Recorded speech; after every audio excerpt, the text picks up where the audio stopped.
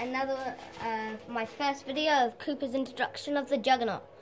And you see he's quite big, and we're just going to parachute right now. We're just going to jump. Is that okay? That's just my partner. Don't worry about him.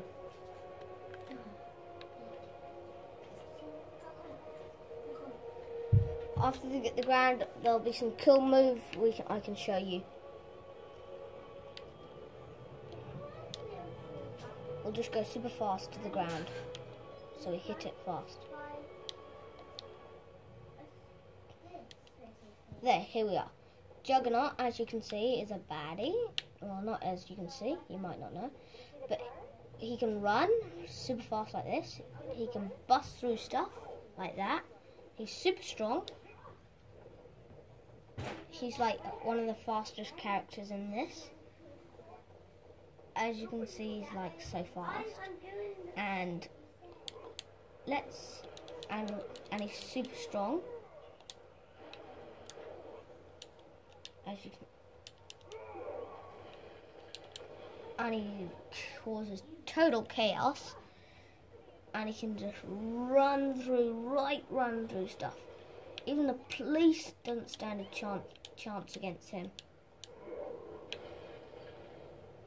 He's a wrecking ball. He's amazing. He's so good, isn't he, guys?